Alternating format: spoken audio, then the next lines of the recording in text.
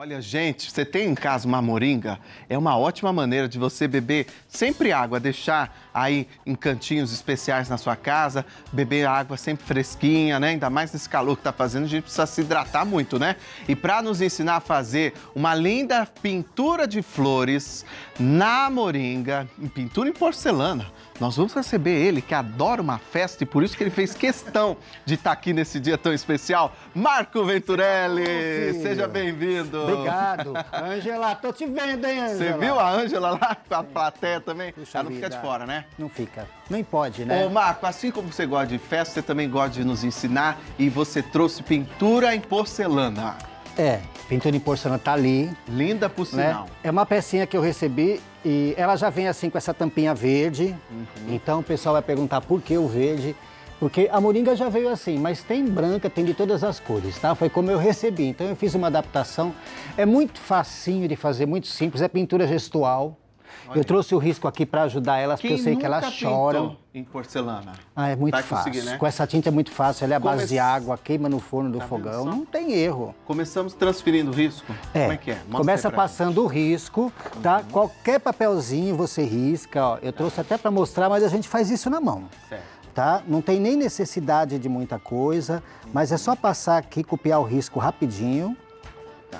tá? O risco tinha desaparecido, eu achei ele agora. Aí. Pronto. Tinha ficado numa sacola. E aí você passa, eu vou aproveitar para mostrar, Rogério, eu falo sempre do carbono grafite, que chama. É o carbono de nota fiscal, ó. Mostra ali, mostra ali pra aquela câmera. Tá? É o carbono de nota fiscal, você Certo. vê que eu uso bastante. Aquele carboninho que a gente joga fora é o melhor carbono que tem para tudo. Tudo relacionado à pintura é ele, porque ele não contém cera. Qualquer outro carbono contém cera, tá? Então você passa para sua peça. Eu estou fazendo num prato, gente, porque é plano, é mais fácil da câmera pegar, tá bom? Mas pode Mas fazer pode fazer em qualquer... em qualquer peça, né? dá para fazer uma boringuinha dessa bonitinha, dá para fazer xícara, dá para fazer prato também, por que não? Uma vez transferido o risco, olha lá. Olha lá, passou, esse carbono passa muito fácil, tá? A gente vai trabalhar e vai trabalhar com a tinta bem transparente. Então a gente Tá. pega o incolor, Certo. ó, Vito 150 incolor, tá? Dá uma misturadinha em cada cor que vai usar, mas a gente vai misturando conforme vai usar aqui. Porque é festa, a gente tem pressa pro bolo, É então a gente aí. não pode enrolar muito, né? Parece. Verdade, Fiquei verdade. sabendo que o bolo já foi, viu, gente? Vitro 150 Vitro da Acrylex. 150. Mostra aí essa tinta, qual que é? ó. Essa é Ó. própria para pintura em porcelana. Porcelana, né? vidro, em ágata fica muito bonitinho aquelas canecas de ágata. pinta direto também? Pinta direto também, nada? sem passar nada, só Olha pintar. ótimo. Tá dura? Vamos tentar abrir lá. Ele é mais jovem do que eu. Nossa, mas... muda de cor, vai, muda de cor. Estamos levando uma surra Ai, ai, ai. da tampa. Faz deve ter dado comigo, pressão, deve ter dado pressão na hora de. Vamos lá. E agora? Olha lá.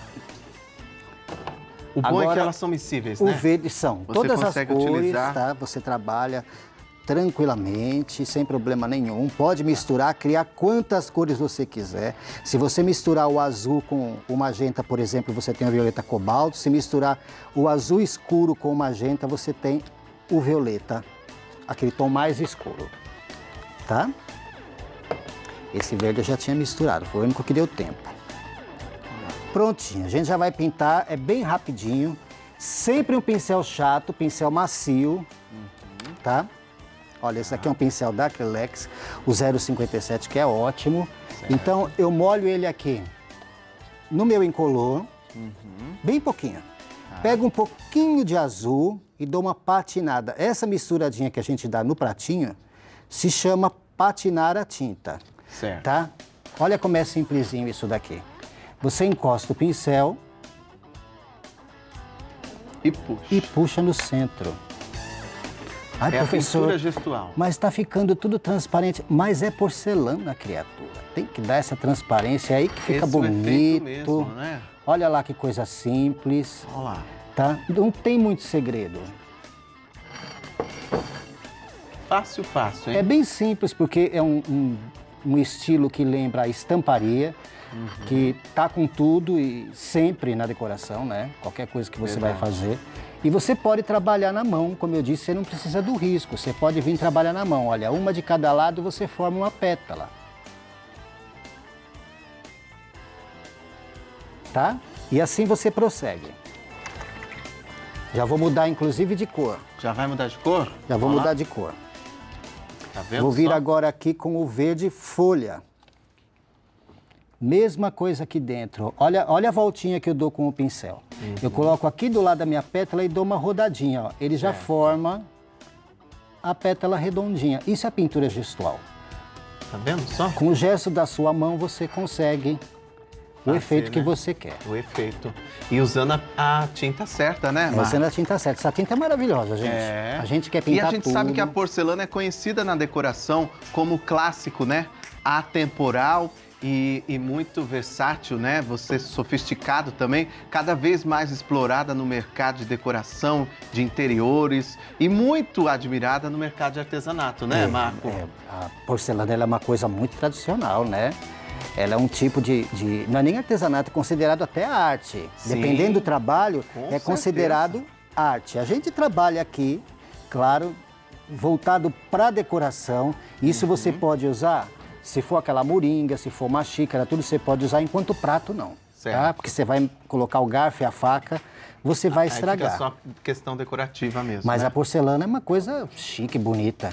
Né? Você imagina um, uma xícara, como eu sempre falo, você dá de, de presente, uma lembrança de aniversário, uma xícara hum. personalizada para a pessoa. Isso é fantástico. É? Olha aqui, gente. Isso ó, é maravilhoso. Eu tô com um pouquinho de tinta aqui. Olha lá. Eu aperto o meu pincel, ele abre. No que ele abre, eu puxo para dentro e já sai a minha folha. Opa! Já sai a minha folha prontinha. Olha que tá? demais! Tá? É muito simples, muito fácil. É, agora eu estou vindo com branco aqui, já vou explicar o miolinho. Tá. Com o branco e o pincel fininho, pode ser um pincel filete, um liner, tá? Uhum. Só tô passando aqui para realçar.